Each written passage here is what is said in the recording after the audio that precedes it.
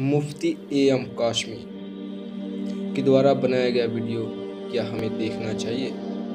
کیا وہ ہمیں اسلام کا صحیح طریقہ بتاتے ہیں؟ کیا وہ ہمیں پیارے نبی صلی اللہ تعالیٰ علیہ وسلم کی سنتیں اور قرآن کی باتیں بتاتے ہیں یا پھر وہ اپنی طرف سے باتیں ملا جلا کر بتاتے ہیں؟ ان کے دوارا بنایا گیا ویڈیو کیا فیک ہے؟ اس میں کتنی سچائی ہے یا افواہ ہے؟ آج ہم اس بارے میں جانیں گے۔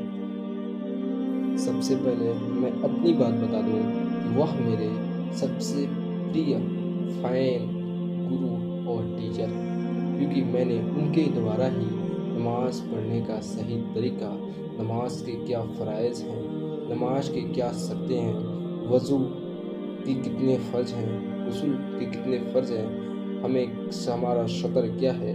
ہم نے سب چیز نماز کے طریقے، ہر چیز سونے، اٹھنے، بیٹھنے پیار نبی صلی اللہ تعالیٰ علیہ وسلم کی سنتیں کیسے کیسے ہیں، ہم نے سارے چیزیں اپنے سے سیکھے ہیں اور اپنے کنفیوز کو دور کیا ہے۔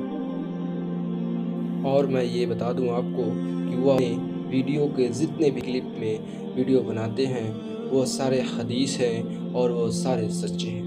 اس میں کوئی ملاوٹ کوئی جھوٹی بات نہیں ہے جو ہمارے نماز پڑھنے کے طریقے یا ہمیں مسلم یعنی مومن بننے میں کوئی غلط فہمی ہو۔ رہی بات یوٹیوب پر کی۔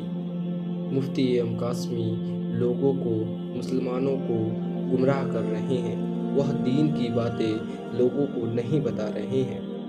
یہ ساری باتیں جھوٹی ہیں۔ اور آپ بھی اگر نماز کا طریقہ، سنتیں، ہر چیز کا صحیح طریقہ جاننا چاہتے ہیں، تو آپ کو ویڈیو کو دیکھیے۔